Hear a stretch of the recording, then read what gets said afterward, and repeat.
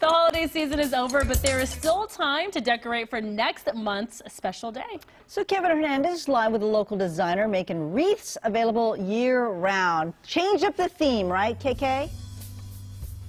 Absolutely. Change up the scene. Get ready for Valentine's Day. Get ready for St. Patrick's Day, for Easter. And you know what? It is not too early to get ready for Halloween, Thanksgiving, and Christmas. And here to tell us more is Sherry with Sherry's Custom Designs. Okay, so you're an Etsy shop, Sherry, and you make these great custom wreaths here, right? Tell us a little bit about them. Um, I feature wreaths for every season and uh, even everyday wreaths.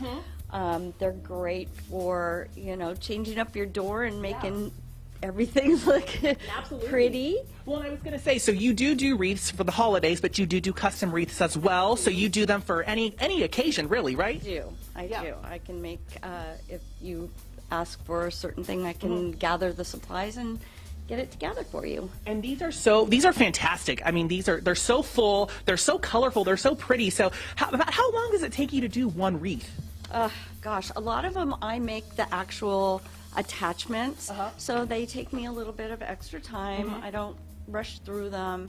They have quality product Yeah. if I've bought it, um, so they take me hours. Yeah, I bet, I bet. But again, you have a shop on Etsy, so people can go on there. They can see all the wreaths that you have on there. And um, I want to mention, first off, I know that Christmas is it just passed, but that doesn't mean that we can't prepare for next year. Because I want to mention these right here. These are fantastic. I love the lanterns here, and this is um, something that you'd have out more during Christmas. But I mean, how great would that look just right there in front of your garage i mean i love that and so you're actually offering a special right now on some of the um, christmas and halloween decor right Absolutely. Um, they're all 10% off Mm-hmm. right now.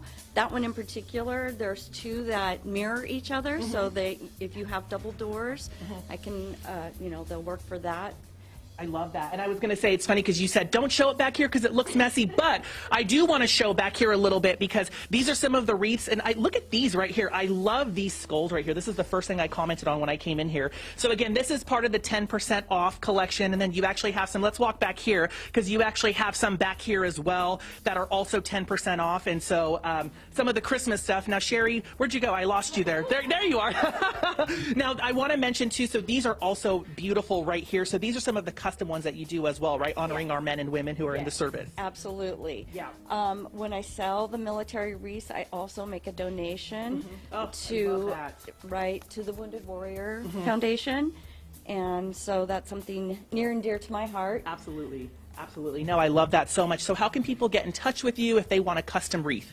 Um, on Etsy, I'm Facebook or Etsy, uh, Sherry's Custom Design. I'm on both of those, and you can just email me or send me a message, Fantastic. and we can work it out. Fantastic. All right, so get your hands on some of these gorgeous wreaths here. Really pretty. I love this peacock one right here. And then again, if you're thinking about Christmas and Halloween next year, again, it is not too early to start thinking about the holidays for next year. So get them now while they're 10% off. Support and help a local business. Of course, you know we always love to shop local here on Good Day Sacramento. So mm-hmm. we'll send it on back to you ladies in studio. I like the military one.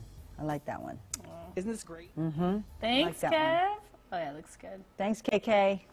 Thank you.